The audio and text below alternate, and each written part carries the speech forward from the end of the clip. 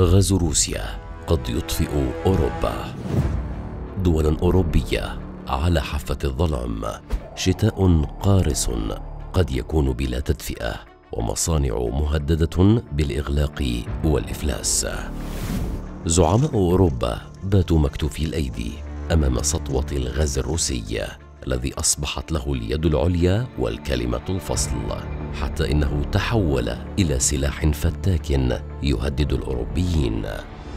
منذ الأيام الأولى للحرب الروسية الأوكرانية لوحت موسكو بورقة الغاز في وجه القارة العجوز التي وقفت جنبا إلى جنب مع كييف وفرضت عقوبات ضخمة على روسيا ردا على العملية العسكرية في الأراضي الأوكرانية.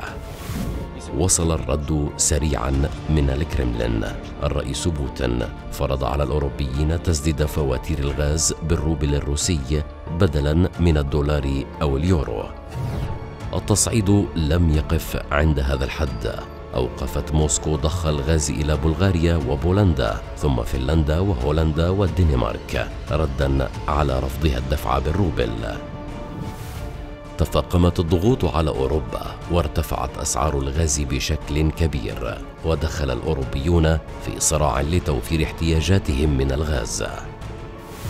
صادرات روسيا من الغاز إلى الاتحاد الأوروبي وبريطانيا هبطت إلى 40% مقارنة بنفس الفترة خلال العام السابق وهو أقل مستوى خلال 40 عاماً.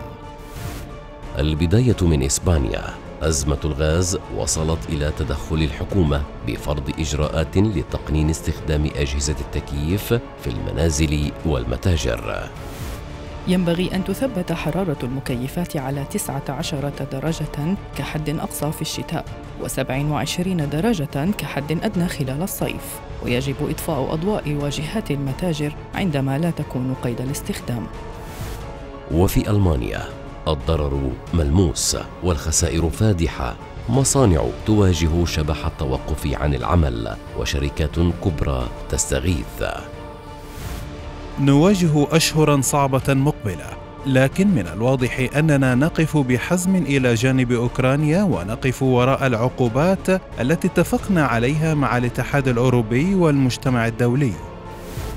مصنع هاينز جلاس الألماني واحد من اكبر منتجي الزجاج في العالم واجه ازمات عده طوال 400 عام لكن ازمه الغاز الروسي الحاليه تضعه على حافه الانهيار Bei einem plötzlichen Gasstopp bleibt uns nichts anderes übrig, als die Glasschmelzwannen kontrolliert abzulassen und zu hoffen, dass dabei nichts kaputt geht.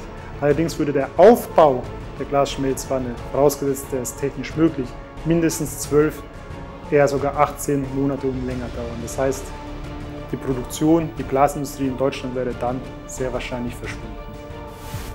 هاينز جلاس ليس الوحيد العديد من الشركات والمصانع الأوروبية وضعت خططا للطوارئ خصوصا مع اقتراب فصل الشتاء الذي قد يكون قارسا جدا بلا غاز روسي